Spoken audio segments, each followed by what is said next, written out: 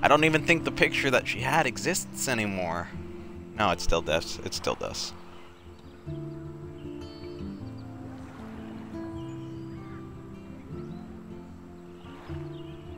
So basically, she'd have to go back in time. That's true. What did happen to Joyce?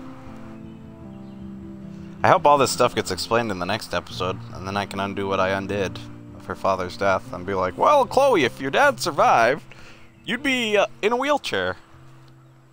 Don't hate me for not saving your dad. I had the opportunity, but I let him die. I'm sorry.